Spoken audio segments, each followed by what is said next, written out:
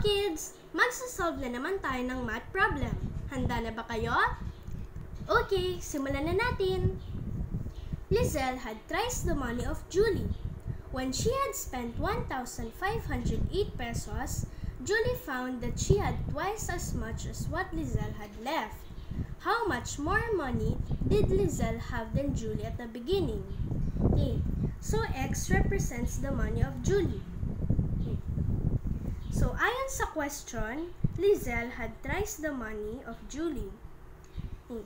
Pero, hindi na natin alam ang exact value ng pera ni Lizelle.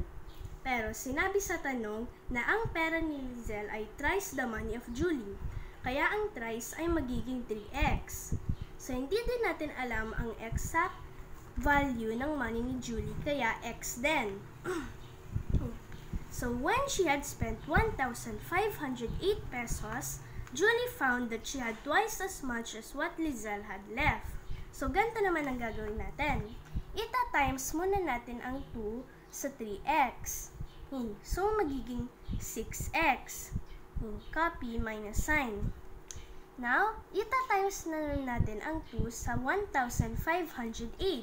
So iyon ay magiging 3,016 na ililipat naman natin ang x dito. So, magiging 6x minus x equals 3,016. Now, isa-solve naman natin ito. So, 6x minus x equals 5x. Hmm. So, i-divide naman natin ang 3,016 by 5. Hmm. So, mag ang magiging answer niyan ay 603.1. Ito ang money ni Julie. Pero ang tanong ay how much more money did Lizelle have than Julie at the beginning? Hey, so imo-multiply muna natin ang 603.1 sa 3. So iyon ay magiging 1,809.60. Now, ima-minus naman natin ang 1,809.60 sa 603.10. So, ang magiging answer niyan ay 1,206.50.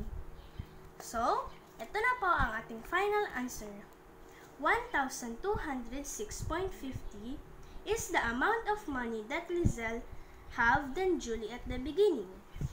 Okay, that's all for today. See you next time and don't forget to hit the like and subscribe button and leave your comments below. Goodbye!